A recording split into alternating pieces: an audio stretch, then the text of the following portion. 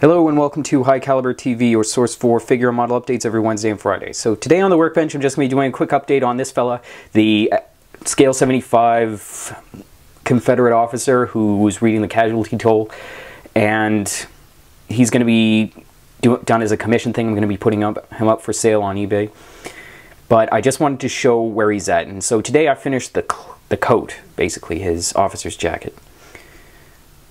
And as you can see, the highlights were done in a downward fashion as always using a zenithal lighting technique. So from here, the light spreads down onto him. But the really fun part that I did today was the shadows. And I initially started with a less intense but still very dark shadow color. And I'll put the mixes in the description below of what I used. But basically I sprayed it upwards into where the shadows would be and you sort of had to use a bit of artistic license and use a bit of, well, I mean, airbrush control, you need that no matter what you're doing.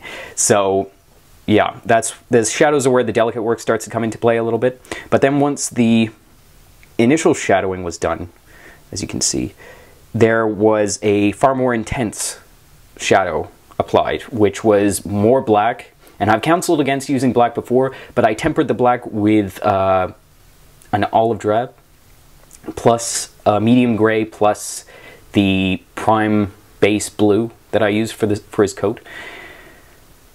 And bear in mind, in all colors, in all mixes, except for the final, final highlight, gray was added, as I wanted him to be very clearly a Confederate and not a Union officer, even though they both wore blue in actuality. It's just that the rebels used far more gray. And later in the war, as production started to shut down, they obviously switched to a very, very much gray cloak. So there he is. I'm really pleased with the way he's coming along. I love these figures.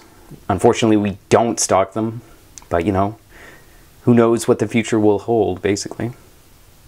Thanks very much for watching, and I will see you next time. Follow us on Facebook, Pinterest, and Twitter for more photos like this, daily stock updates, etc. I'll put the link to our homepage in the description. Thanks very much for watching, and I will see you next time.